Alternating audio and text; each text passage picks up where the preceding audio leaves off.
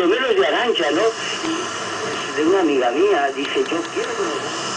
También te la puedo presentar a ella, ¿eh? quiero decir que hay todo el juego de seducción entre Arancha y Ruth.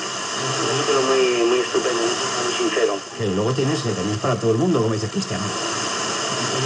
fábricas, cuando viene, cuando, cuando, Con Aznar, con Aznar. con los...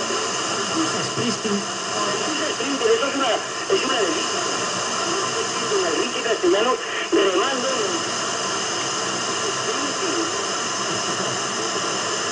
Eso es una obra maestra, sobre todo cómo llega Bruce Springsteen a...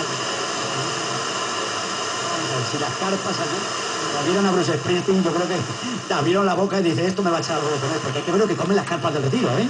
Sí, sí, sí. Tú echas ahí un poquito, echas un poquito de... que tienen 25.000, que yo no sé cómo nos deja jugar al boli playa, que vamos a organizar ahí. menos mal que Eloy ni, ni yo pusimos la mano porque hoy no estaba, yo sí, pero